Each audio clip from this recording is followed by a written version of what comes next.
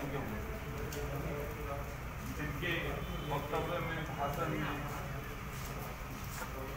जो है करिश्माई बातें उन लोगों ने बोली यही इलाहाबाद यूनिवर्सिटी की खासियत है छोटे उम्र से ही मेहनत मशक्कत और किस तरीके से लड़ाई को लड़ा जाता है अंजाम तक पहुँचाया जाता है इसके लिए आपकी मिसालें प्रदेश भर में नहीं बल्कि पूरे देश में ली जाती हैं। मेरे दिन दिमाग में बहुत दिन से बात थी। हालाँकि अनशन की सारी फ़ोटो हम लोग पटेल जी के माध्यम से भी मिलती रहती है व्हाट्सएप के माध्यम से। जब से धरना पुराना चला कभी बारिश आई कभी किसी ने भगाया कभी छोटा हुआ आंदोलन कभी बड़ा हुआ और इसमें तमाम चीज़ें जो होती हैं वो व्हाट्सएप के माध्यम से हम लोगों को पता चल जाती हैं। मैं सबसे पहले धन्यवाद दूँगा अपने तीन नौजवान साथियों को और ख़ास तौर से जो कर्मिक अनशन और फिर अमर अनशन अब इस समय कर रहे हैं, राहुल सरोज जी अभिष प्रियदर्शी जी मंजीत जी, गौरव जी, अभिषेक यादव जी, सुधीर हमारे क्रांतिकारी जी और रमेश पांडे जी, अनुराग यादव जी जिन्होंने सबने मिलकर ये प्रोग्राम चला रखा है। उन सब साथियों बहुत सारे लोग ऐसे भी होंगे जो यहाँ पर नहीं होंगे। मैं अपने छोटे भाई आदिल हमजा जी का धन्यवाद करूँगा। राहुल जी का धन्यवाद करूँगा। नवनीत यादव जी और बहुत सारे साथियों के नाम इसमें है मैं बोल दूँगा। मैं आप सब लोगों को बधाई देता हूँ आप सब लोगों को साधुवाद देता हूँ कि आप सब लोगों ने मिलकर इस कार्यक्रम को आप लोग आगे बढ़ाए। ये बहुत छोटा समय नहीं होता। जब ज़िंदगी के 800 दिन किसी व्यक्ति ने या कुछ लोगों ने मिलकर इस संस्था को बचाने के लिए लगाया। मुझे नहीं पता इतिहास इसको किस रूप में याद करेगा, लेकिन इतना पक्का है, जो लोग आने वाले समय पर रहेंगे, वो इस 800 दिन और इससे भी ज़्यादा चलने वाले दिन के आंदोलन को हमेशा स्मरण करेंगे। और ये बात ज़रूर हमेशा बोली जाएगी कि हमारे सीनियर्स ने इतना बड़ा आंदोलन चलाया। ये भी नौजवान ये आंदोलन में हमेशा सफलता नहीं मिलती। कई बार सफलता मिलती है और कई बार सफलता नहीं मिलती लेकिन ऐसा कोई आंदोलन नहीं जिससे चीज़ें अच्छी ना हो, बेहतर ना हो, सीख ना मिले, बेहतर सोच ना बने, अच्छी चीज़ें ना निकले। कई चीज़ों की सीख ऐसी मिलती है कि आप जीवन पर्यंत, आप अपने जीवन पर्यंत उसको याद रखते हैं। मैं बहुत सारे आंदोलनों में रहा हूँ। छात्र राजनीति में रहते हुए मैं बहुत सारे आंदोलनों में शरीक रहा और कई आंदोलनों की अगुवाई की। हमें याद है, जब शासन चुनाव पर 2007 के बाद तालाबंदी हो गई थी, पूरे प्रदेश में जो भी शासकों का ज़िक्र करता था, वही लाठी चलती थी। लेकिन समाजवादी पार्टी और तमाम ऐसे संगठन, क्योंकि आपका संयुक्त धरना है, दूसरे संगठनों के लोग भी इसमें जुड़कर काम कर रहे हैं। मैं समाजवादी पार्टी से ताल्लुक रखता हूँ। समाजवादी छात्र सभा का प्रदेश अध्यक्ष रहा हूँ। आपके यहाँ भी शासन के चुनाव लड़ाने का कई बार मौका मुझे मिला, क्योंकि छात्र राजनीति से हम लोग निकल कर विधायक बने हैं और मैं ये बिना लाग लपेट के बात कह सकता हूँ कि सिर्फ़ और सिर्फ़ हमारी छात्र राजनीति हमारी देना विधायक बनने की अगर ये छात्र राजनीति हम जैसे सामान्य परिवार का लड़का, विधायक और तीन तीन बार विधायक का चुनाव कभी न लड़ा। इसके लिए मैं धन्यवाद दूँगा माने मुलायम सिंह यादव जी का और फिर बाद में अखिलेश यादव जी का। समाजवादी पार्टी की जब जब सरकार आई, शासन के लोगों को हमेशा मौका मिला। हमेशा अगुवाई करने की समाजवादी पार्टी ने मौका दिया।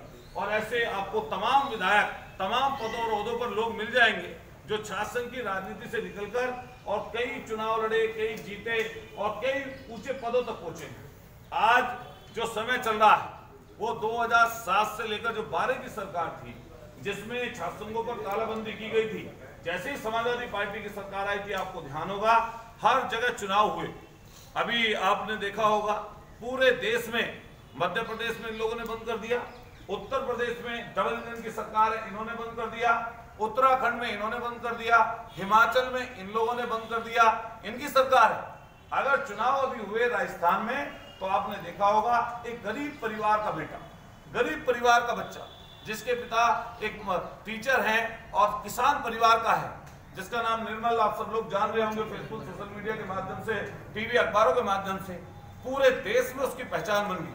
आप सोचिए कि अगर वो छात्र संघ का चुनाव न लड़ा होता, छात्र राजनीति से ताल्लुक ना रख रहा होता तो शायद उसका नाम आप छोड़िए, उस विश्वविद्यालय में शायद किसी ने नहीं जाना ये इसकी जो बड़ी साजिश है सरकार की, वो यही है कि किस तरीके से सवाल जो सामने से पूछे जाते हैं, वो बंद कैसे हो? और लोकतंत्र को धीरे धीरे धीरे धीरे करके कैसे खत्म किया जाए? आप देखेंगे, अगर कोई पढ़ा लिखा नौजवान संघर्ष करके, संघर्ष के माध्यम से राजनीति की मुख्य धारा में आता है तो वो सवाल करता है। और सवाल इन सरकार को, इस, इन सरकारों को पसंद नहीं है।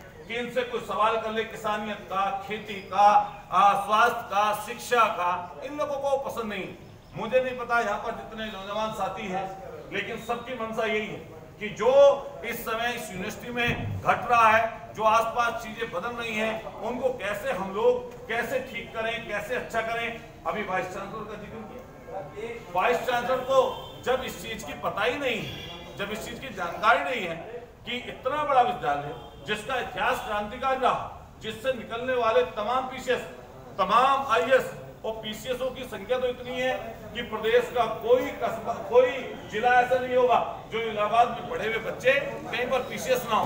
किसी ज़िले में बड़े होते ना हो। लेकिन इनकी मंशा ये है। ये कॉर्पोरेट लोग हैं। बड़े घर से आए हैं।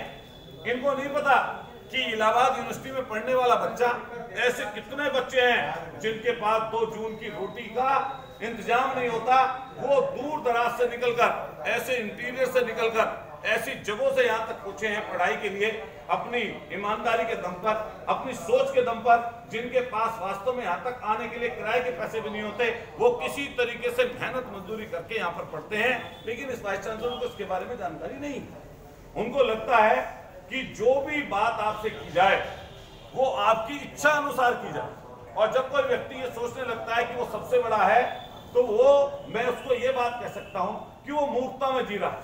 सबसे बड़ा वो नहीं हो सकता। और ये एक सिस्टम है। आप भी वाइस चांसलर बने हो। आपसे पहले भी कोई थे। हमारा साथी को जो शेर सुना रहा था अच्छा था। इस गद्दी पर, इस सीट पर आपसे पहले कितने आए, कितने चले गए? और आप भी एक समय ऐसा आएगा, यहाँ से चले जाओगे। और ऐसा क्या पता कितने बेज्जत होकर जाओ, कितना अपमान आपका होकर जाए। और आने वाले समय पर जैसे जैसे एक चीज़ चलेगी, आप सब लोगों को दिखाई देगा कि अभी हम लोग पश्चिम में दो बार मीटिंग कर चुके हैं शासन के लोगों को इकट्ठा करने की, जो पूर्व के शासन के पदाधिकारी हैं, उन लोगों को हमने मेरिट यूनिवर्सिटी में भी इकट्ठा किया था। मैं खुद गया था उनके प्रोग्राम में। एक संयुक्त संघर्ष समिति बनी है, शासन के चुनाव को लेकर अलग अलग समस्याओं को लेकर जो 20 साल पहले तक के भी शासन के पदाधिकारी रहे हैं। हम सब लोगों को इकट्ठा कर रहे हैं और कोशिश करेंगे। मैंने अभी क्वेश्चन लगाया है विधानसभा में कि शासन की बहाली क्यों नहीं हो रही? डबल इंजन की सरकार है, आपको 20 तारीख में तारांकित क्वेश्चन है, जिस पर बहस होते हुए ज़रूर देखोगे आप। हम लोगों का क्वेश्चन वो स्वीकार भी हुआ है और वो पूरे प्रदेश के शासन चुनाव पर जो तालाबंदी है, उसको लेकर हम लोग सदन में इस बात को उठा रहे हैं। माननीय अखिलेश यादव जी ने अभी कुछ दिन पहले जो आपका आंदोलन हुआ, फ़ीस वृद्धि को लेकर, जिसमें बड़ा आंदोलन आप साथियों ने मिलकर किया, उसका भी ज़िक्र सोशल मीडिया के माध्यम से टीवी पर अखबारों में आपने देखा होगा। हम लोग निरंतर कोशिश करेंगे इस चीज़ की, कि कैसे इस आंदोलन को धा दी जाए और कैसे आप लोग सफल हो। ये बात आप पक्की रखिए कि हमेशा कई बार ऐसा लगता है कि आंदोलन टूट गया। कम लोग आ रहे हैं, ज़्यादा लोग आ रहे हैं। ये समय समय पर परिस्थितियाँ चेंज होती रहती हैं। लेकिन मैं आपकी हिम्मत को दाद दूँगा कि आपने 800 दिन तक, शायद इतिहास में कभी इससे पूर्व में कभी 800 दिन तक कोई आंदोलन चला हो, लेकिन 800 दिन तक इस आंदोलन को लगातार चलाकर रखा। हिम्मत आप में बहुत है।